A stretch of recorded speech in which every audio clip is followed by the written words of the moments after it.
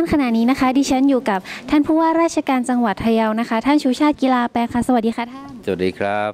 ค่ะไม่ทราบว่าวันนี้ในการจัดอบรมครั้งนี้ท่านมีเอ่อความคาดหวังยังไงเกี่ยวกับการจัดอบรมในครั้งนี้บ้างคะครับเป็นความตั้งใจนะครับที่ได้รับความกรุณาจากสมาคมการพิมพ์ไทยกับเอ่อศูนย์บริการวิชาการแห่งจุฬาภรณ์มหาวิทยาลัย แล้วก็สำนักงานส่งเสริมวิชาการของเอ่อสำนักงานเอ่อ ส่งเสริมวิสาหกิจขนาดกลางขนาดย่อม ซึ่งทั้ง 3 องค์กรนี้อยู่ที่กรุงเทพมหานครนะฮะได้กรุณาอนุเคราะห์จังหวัดพะเยาในการที่จะอบรมพัฒนาขีดความสามารถผู้ประกอบการ ด้านของการออกแบบ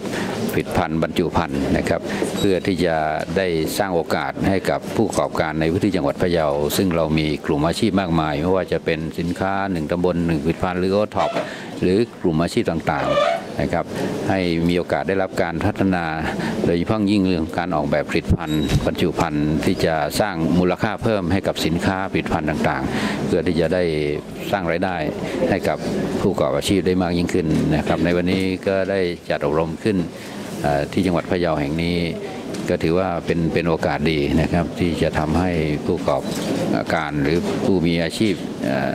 ต่างๆ ของจังหวัดพะเยาเนี่ยได้ได้รับความรู้ เทคนิคใหม่ ๆ รวมทั้งแนวคิด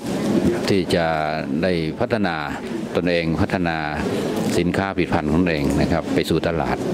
เพื่อเข้าสู่การแข่งขันไม่ว่าตลาดในพื้นที่ตลาดในประเทศต่างประเทศในอนาคต โดยเฉพาะยิ่งในอีก 2 ปีข้างหน้าที่ไทยจะต้องก้าวสู่การเป็นประชมประชาคมอาเซียนในเรื่องของการแข่งขันในเรื่องของธุรกิจเรื่องของสินค้าต่างๆ ก็จะต้องสร้างมาตรฐานให้โดดเด่นครับ ค่ะวันนี้ก็ขอขอบพระคุณท่านมากนะคะ ที่ได้ห่วงใยชาวพ่อแม่พี่น้องพี่น้องพ่อแม่พี่น้องชาวโอทอของเรา ขอขอบพระคุณค่ะ ครับ สวัสดีครับ